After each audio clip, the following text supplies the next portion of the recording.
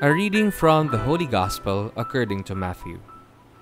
Jesus said to his disciples, If your brother sins against you, go and tell him his fault between you and him alone. If he listens to you, you have won over your brother. If he does not listen, take one or two others along with you, so that every fact may be established on the testimony of two or three witnesses. If he refuses to listen even to the church, then treat him as you would a Gentile or a tax collector.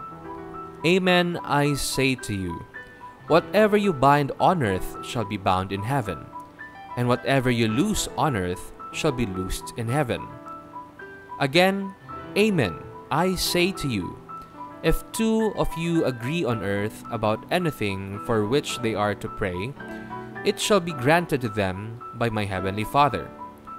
For where two or three are gathered together in my name, there am I in the midst of them.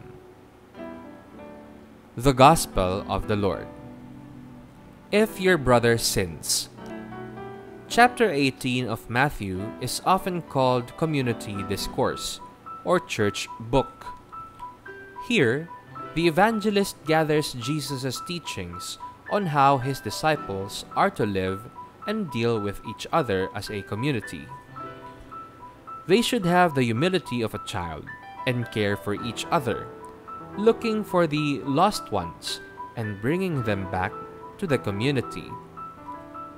The Gospel today speaks on how to deal with a brother or sister who sins. Jesus presents three steps to reconciliation. First, to confront the erring one in private. Second, to negotiate with two or three witnesses. And third, to resort to adjudication with the community as the final arbiter because the good of the community is at stake. Jesus emphasizes that the erring member is always a brother or a sister.